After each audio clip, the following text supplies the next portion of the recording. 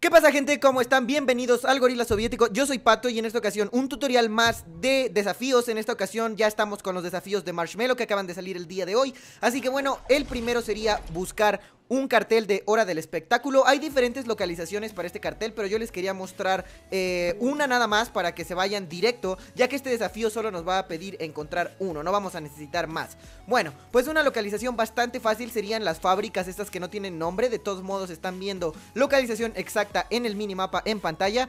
Y bueno, lo que tendríamos que hacer sería aterrizar aquí y las encontraríamos luego luego entrando a la fábrica más grande, la que tiene una pista disco. De todos modos tienen el gameplay en pantalla. Así que pues nada gente, espero que les haya gustado este video y eh, pues suscríbanse para ver los siguientes desafíos de Marshmallow. Adiós.